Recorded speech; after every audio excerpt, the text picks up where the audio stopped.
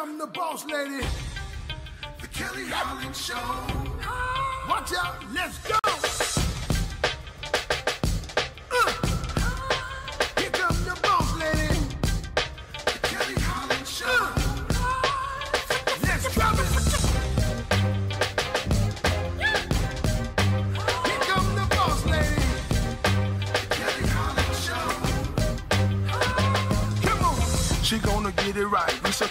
All life. Her info's always tight. Talking just to get inside. Gospel talking, Bible walking, wanna help you see. Faith is calling and she's walking with the victory. The king is on her side and she never quits. Put you on the show and you reminisce. Creative to the point where she's making hits. Business savvy is a Kelly. Are you getting this? I'm liking this.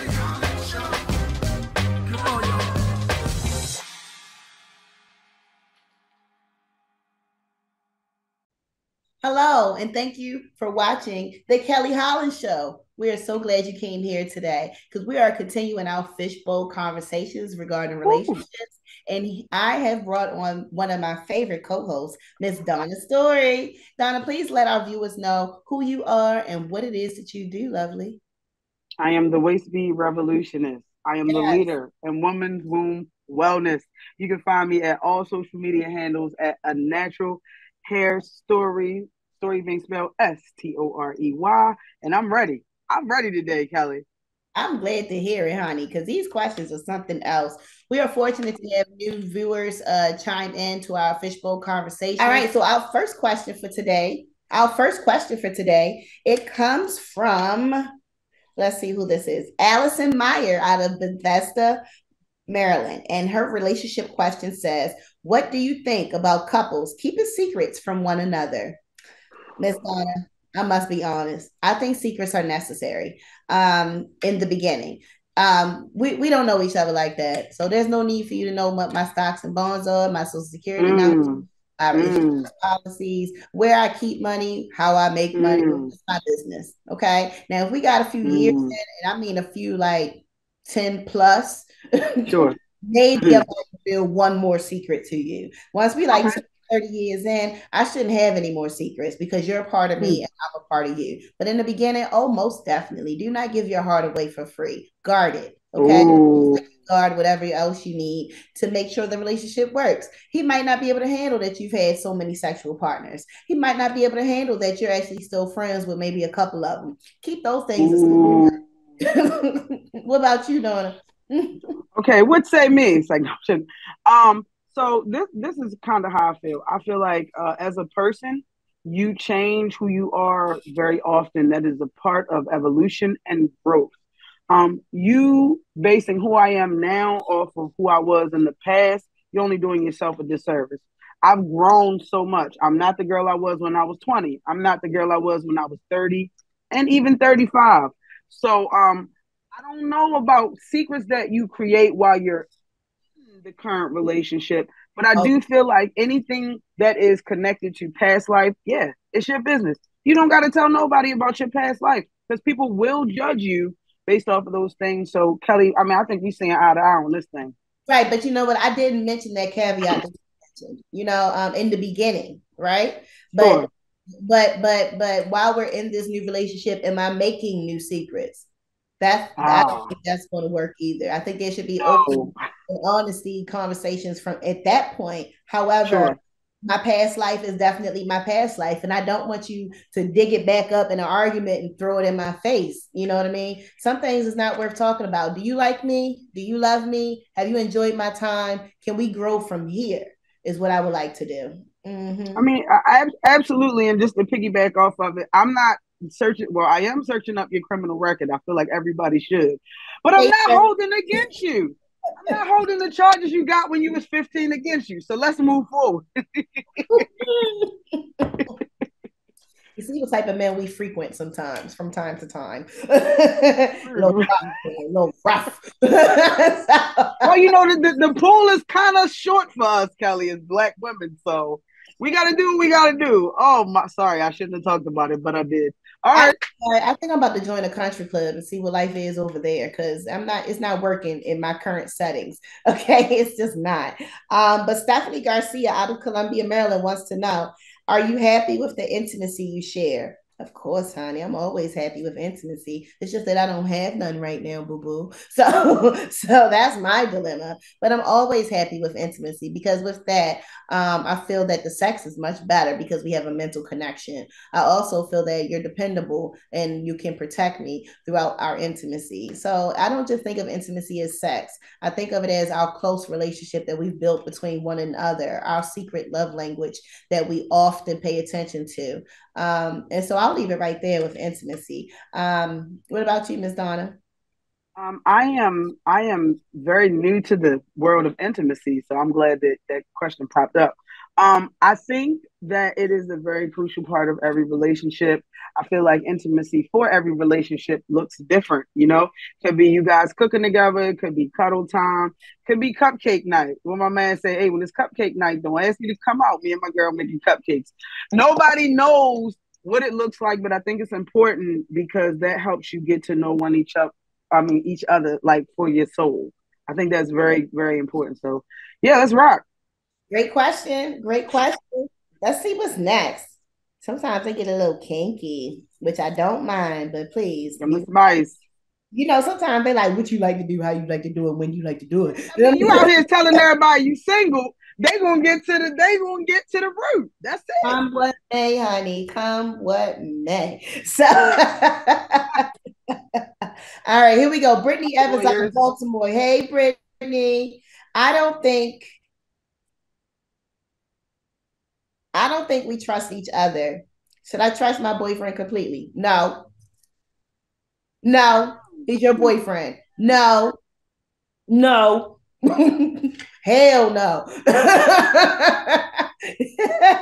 you will be one of the most naive green persons in the world. He will absolutely love to take advantage of you not knowing any street smarts. Um, and um, he might have a whole rotation on the side and you think you're the only one. So oh, it happens. it's definitely happened. I've been a part of the rotation. So I've had my talking. Okay, so these situationships that occur, no, um, do not completely trust your boyfriend. Um, fresh out the fresh out the bed, fresh out the relationship. Don't don't don't trust him completely. You have to learn to trust one another. You have to learn through your experiences mm. To build trust within one another. You could be skeptical about many things, and chances are you right on the head with it, baby. Mm. Nah, he's not doing that. He's probably doing exactly that. So. I will never, ever, ever trust a man completely until he has earned my trust. Mm. Mm-hmm. So here I go. Here I go uh, with my my spiel. Um, I feel like trust is earned, but I also feel like when you do come into a relationship, you should be open to trusting what somebody says. So I'm gonna believe what you say until you prove me otherwise. Just because for me, it allows me to function a little bit more. It allows me to focus on my goals and aspirations instead of what the heck you got going on. So um I don't. I'm not saying be green. I'm saying don't assume the worst until the worst occurs. So that's just my spiel. Right, but don't be naive when the worst comes and lets you know that it's in the building, and you still want to be like, "Not my man." right, and let's just let's just call a spade a spade. Some some people like see the symbols and still want to stay. Yeah, so, I mean, that's that's that's girl. Just do what you want to do because that's what you're gonna do anyway. Next question. Should I trust him? Ends, honey. Next question. so we have Joseph Everett out of Catonsville, Maryland. Life is short. Do you believe in staying with the partner for a very long time or even forever? That's up to you, Joseph. Sound like you ready to jump ship now. looking for out. He's looking for the exit already. Should you break up? If that's what you plan on doing, just do it, honey. But at the end of the day, should you trust your partner? Should you be with your partner forever? And should you love your partner forever? Um, I think it's worth a chance. Um, I think when you get into relationships, you should be considering making this work for the long haul. Um, that's why we have dating, where you can just date and figure out who you are and set your boundaries. Um, but some people they like to call themselves in a relationship and they just been on a few dates. That's a big no no for me. I'm not cutting off anybody I entertain until you've told me that you want to be exclusive and you've shown me that exclusive effort. If I don't Ooh. see that from you, I'm going to date whoever I want, and it's none of your business until you are. Mm. I absolutely feel that people should live that way. Um, and if you think that you're ready for a long term relationship, embrace it. If you think that maybe you want to try it out, but you're really not sure because you don't like being monogamous, this probably isn't a thing for you. Maybe you need to spend more time on your own in dating. Ooh. Absolutely. Ooh. Don't be messy. what you think, Donna? If you asking a question, then you know there's some doubt. Anything you question usually have a little bit of doubt behind it. So mm-hmm. I'm gonna say just be honest with the women you meet and let them know that just like you told us, and don't you switch it around just because they pretty. You say life is short. I don't know if I want to be with most partners. Let's see how that work out for you, buddy. and, and that's just that on that. that's just that on that. That was my laugh out loud moment. yeah, you when you on a dating site, you're not on that talking about some. They like, what do you like? Long walks in the park. He like, no, life is short. I don't know if I want to be stuck with the right partner. Come on, buddy, cut it out. Stop it. But thank you for thank you for writing in. We appreciate right. you. Rachel Matthews out of Bowie, Maryland says, "Is it ever okay to lie? If it is, when and what kind of situations. Um Kelly, this is this is ooh. All right, here's a good lie, Rachel. Do I look fat in this dress? Maybe is not the answer you should give somebody. Girl, you look good. If she wanted to put that dress on and come out in front of y'all, mm. she had the confidence to carry out the night. If not, is she going back home and change and hold y'all up? And we, we're not doing that. So yes, you look good. Um, yes, you are beautiful and that shouldn't be a lie. Yes, I, that should not be a lie. Um, uh, but but in certain situations, I think when it's an opportunity to encourage someone, encourage them. Um, mm-hmm. When it's mm. an opportunity to be honest and truthful, then do that.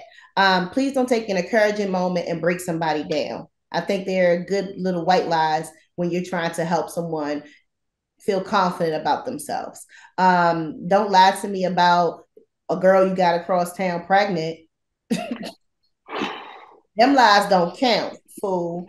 So, but in a matter of making me feel better, even if you know I'm not living that type of lifestyle right now, 10 minutes later, I might be that person you said I was. So everyone's revolving. Okay. We're ever revolving. I'm not the person mm-hmm. I was at eight o'clock this morning. Okay. So, all right, mm-hmm. So, um, I think little encouragement lies are okay. I don't think you should lie about reality. I don't think you should lie about things that would mm. be a red flag in our relationship. But yeah. Miss, is it ever okay to lie? this is so hard. This question is so difficult because, like, if, if, if you like, hey, does my mom new teeth look good? Like, and they don't. I mean, I don't know. I guess I would have to say yes, and that probably would be a lie. But um, if you're lying about, like you said, people, places, things, current events, I'm gonna say no. But here's it. Let, let me tell you what I've learned. I've learned that there are blanket statements, just like you said, um, that actually smooth things over and it's kind of like right in between the lie, but I just don't want to tell you everything. So just like sure, yeah, sure. You didn't say yes, say no. You see what I'm saying? Like you right in the middle. You're right in the middle. So nah, don't be lying about people, places, and things. But yeah, some things you probably should keep to yourself. Exactly. And i definitely agree. Um, especially since we're in this holiday season. Baby was my macaroni and cheese good? It was the best. Knowing that thing was dry as i don't know what. It was the best. So, it ain't no cheese in the macaroni and cheese. Who made this the turkey dry. It was the best turkey I ever had. We're going to encourage you to keep cooking. Okay. Um, and we might even host a dinner next year to take some things off your plate. And so Positive reinforcement. There we go. I will encourage you. Amen to that. Amen to that. Let's see. We have another question over here in the fishbowl. Um, who wrote into us? Let's see. We have here Elizabeth Kelly. She comes from Bainbridge, Georgia. Okay, Bainbridge, Georgia. Georgia? Girl, I have no idea, but apparently it's a place. So I'm going. I'm going. See you in a little bit.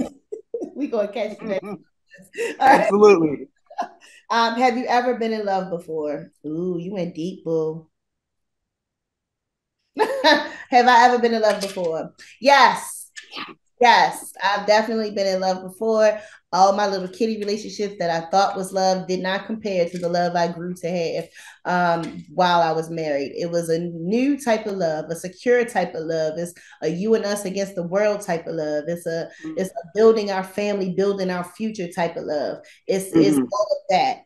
Um, but like I said, I'm divorced because my love was not reciprocated. Um, my children's father wanted to be involved with the whole city of Baltimore in the most nasty, despicable ways. And so because of that, my love was betrayed. Um, and that's just me being completely transparent with you. Um, my love was um, it took me months, years maybe, to kind of get mm-hmm. myself back together because I loved for a very long time, um, approximately 17 years. So you don't just mm.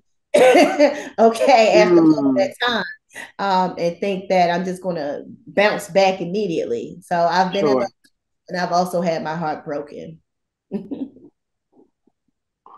I have I, I've I've um I've been in love. Like I've been in love and I I love love. So um I kind of look at things a little bit different.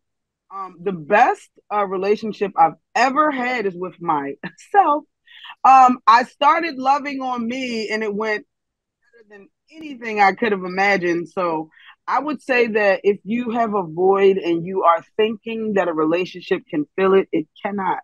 Um, oh. You gotta love you. You gotta love you um, you got to start to be alone with you. You got to be okay with being alone, doing things you like without saying, "Hey, does anybody want to go with me?" No, they don't want to go with you because nobody don't like what you like because you're the only person that knows what you like.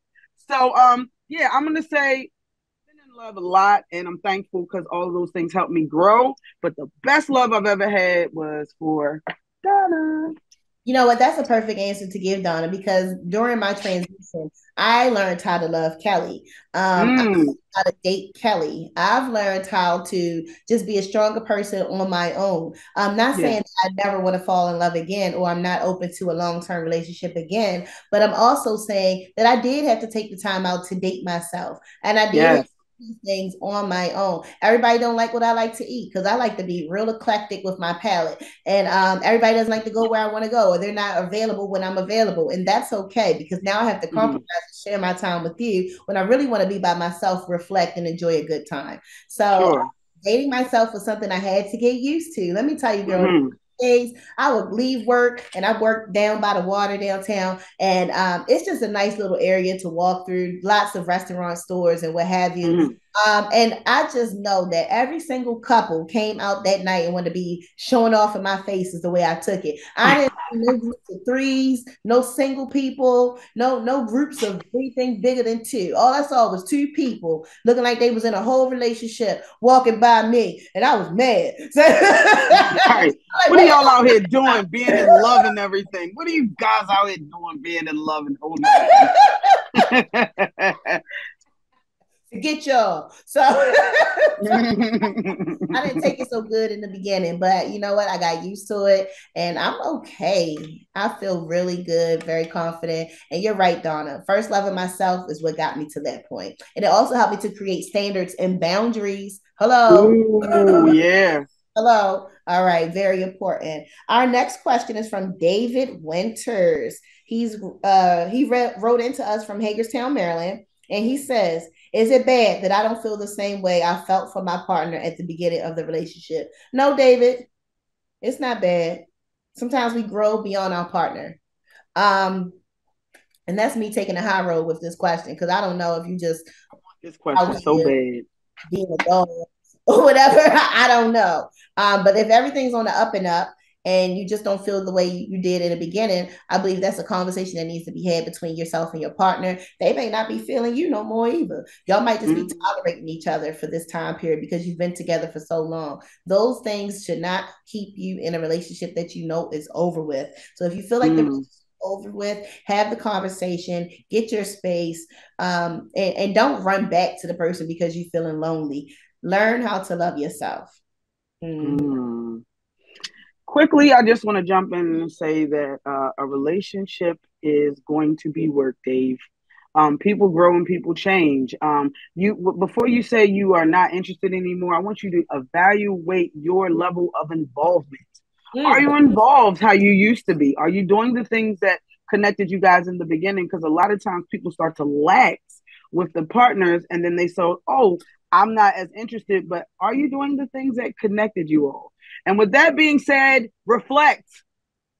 Absolutely reflect. And one last thing I want to add on when somebody say you should know how to do this because you should know who I am, X-Lay, we don't go for that either. I don't know.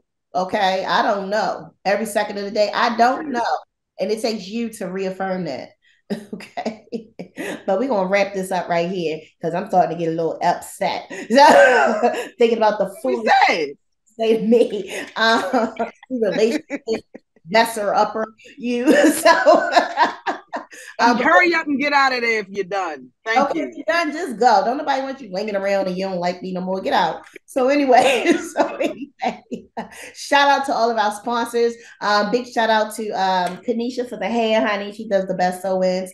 Um, Lexi nailed it for the, the nice little Christmas flavor. Um, Charlie's Closet. She supplies me with clothes and Life Academy because they offer financial literacy, work development skills, and, and life skills as well. Um, Donna, any shout outs for you?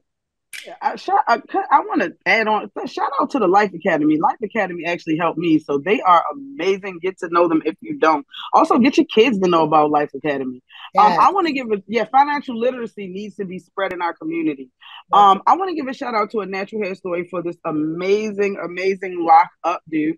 Um, I also want to give a shout out to the Purple Flip. Sea moss is important. It will change your life and your health.